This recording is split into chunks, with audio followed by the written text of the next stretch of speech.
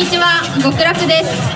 僕たち3人はほぼ休憩なしで全力で踊ります。気合があれば何でもできると思います。3人で踊るのもこれで最後。最後の最後まで全力の笑顔でかまします。とのことです。さて3年間ブレイクを頑張ってきた3人がどんなショーケースを見せてくれるんでしょうか。それでは行ってもらいましょう。極楽です。